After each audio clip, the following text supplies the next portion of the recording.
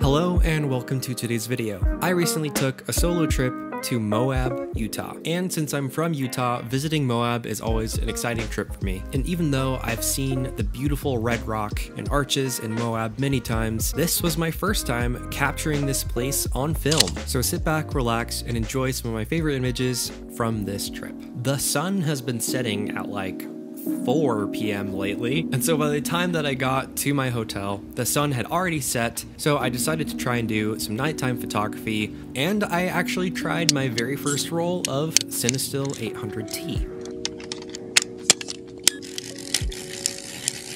It's really dark right now, so I'm hoping some long exposures can kind of compensate for that. I wish I had a slightly wider lens here.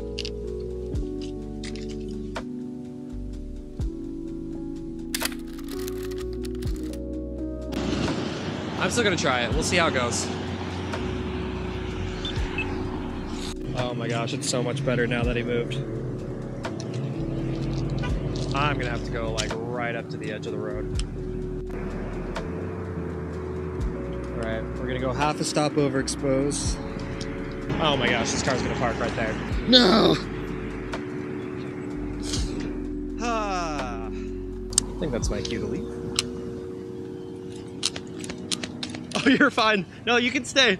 Oh, I feel so bad. Just this very pleasant older couple just roll down the window and they're like, I'm sorry. And um, I'm certain they heard me uh, yell no. No! Oh, I'm a monster.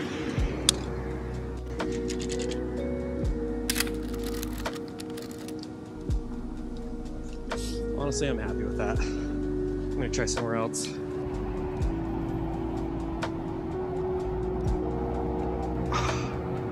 Kidding me?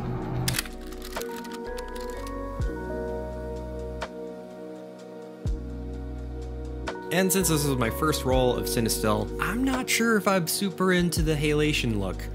I think it has its place, but wow, is it so red. I mean, these lights look radioactive. Not sure if I love that yet, but uh, again, my first roll, so we'll see.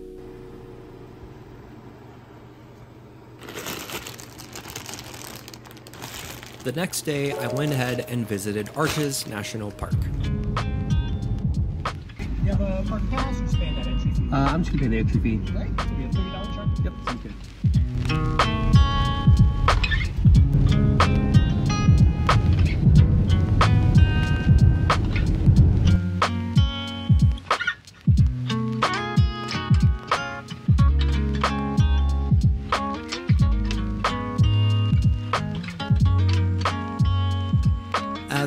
Up to the next spot, I saw these rock climbers right next to me, and I actually love to rock climb myself. So I could see all their gear and I kind of knew what they were doing, and I thought that would be an interesting subject to photograph. And as someone who photographed in the outdoor retail space quite a bit, this subject matter is pretty fun to me. So I thought about talking to them, but I chickened out, so I only got a few of them.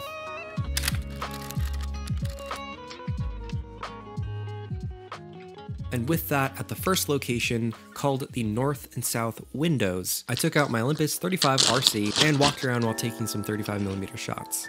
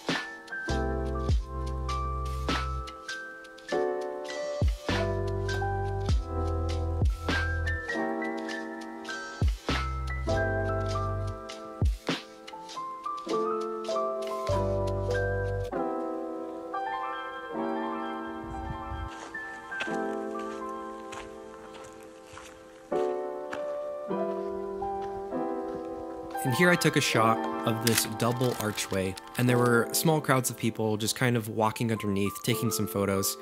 And some people would climb up just a bit into this little area. I love including people in my photographs. It really gives a sense of scale and magnitude. It really helps you visualize in real life what it could have been like to be there. And as the day continued, it was the mid afternoon, the sun was just beaming down, and I honestly was really struggling with the lighting. I felt like everywhere I looked, there was something interesting to photograph with this intense, strong, contrasty light. You know, against my better judgment, I'm shooting in broad daylight.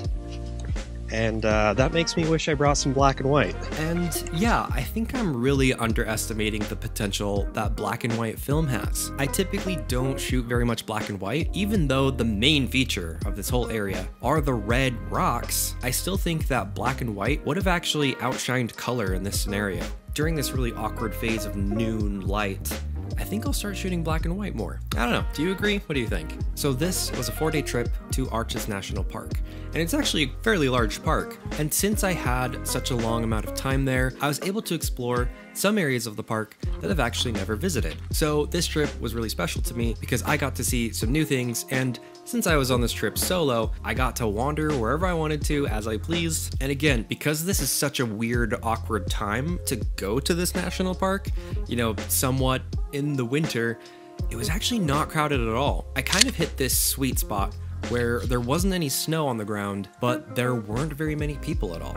So it was kind of nice and quiet for the most part.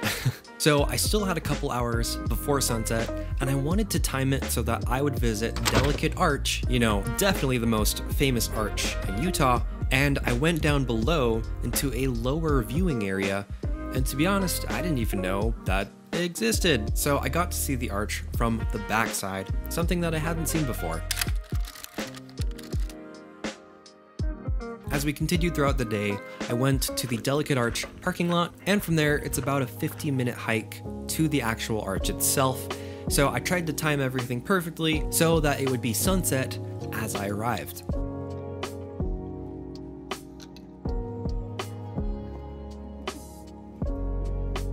And with spending so much time in one location with really one major subject, it really challenged me because I'm photographing the same thing. So even though most of these images are more or less the same thing, but in different fonts. I was trying to see what else I could do to really bring out what it feels like to visit Delicate Arch. With some images with no people at all, some even embracing the fact that there are crowds all looking at and photographing the same thing. And you'll see this later on in some of the images too, but sometimes I find the people looking at a subject more interesting than the subject. Since I had spent so much time in this one area, I feel like I was really able to experience a huge variety of lighting as the sun was dipping every few minutes it would change pretty rapidly. And in general in photography, I think that's actually a really interesting concept. That if you ever think you're getting bored of a subject, go there at a different time or even a different season and you'd be surprised the results you're able to make.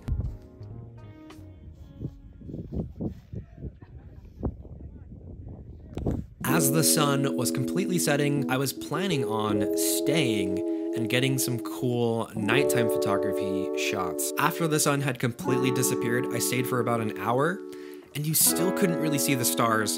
And I was just so cold and miserable and hungry. I just packed up, called it a day. And on top of that, I still have to walk the 50 minute hike back to my car and then the 20 minute ride back to the hotel. So yeah, I, I was done. the next day, I actually wandered around the hotel for a bit and found their pool. Of course, it's dead of winter, so no one's using it. And I thought that would be a fun subject to have this pool area all to myself. So I went ahead and took some photos there too. Here is one of my favorites from this little pool session. And here I just love the symmetry. The symmetry of the chairs, the windows, the leading lines, everything just feels perfectly placed. Even this shadow, barely not touching the windows above. Yeah, definitely one of my favorites. And here, this one's not terribly special, but I did love photographing through this window. And I think that's something that I'm gonna start doing more often, is trying to look for frames within frames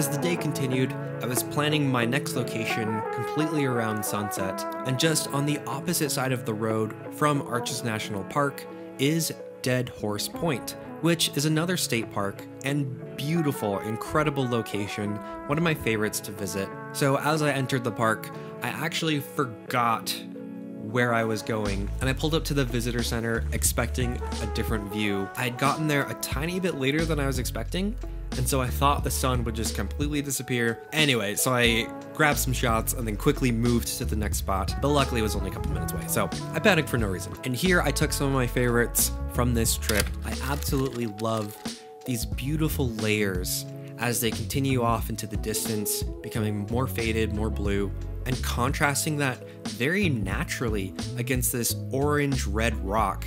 You know, a pretty common cinematic look, kind of that orange and teal. And here it's happening in nature with these beautiful stacked layers going off into the distance, and the sunset just really bringing out all these colors. Interestingly enough, I often gravitate toward having people in my landscapes. And as I mentioned earlier, it does give a better representation of scale, but I also think it just makes for a more interesting subject. What kind of people are here to sit in the dirt when it's freezing cold to all look at the same thing? So yeah, even though there's a subject that most people are looking at, sometimes I like to make those people the subject. And while we were there, there was a wedding photographer who was doing a bridal shoot and um, and we chatted for a short minute. And the wedding photographer and me, back when I was starting photography, could not at least take one photo of them. This was a really fun solo trip, and I look forward to traveling a lot more and doing more of these shoots. That's it for this video. Do not forget to subscribe, and I will see you guys in the next video. Thank you so much for watching.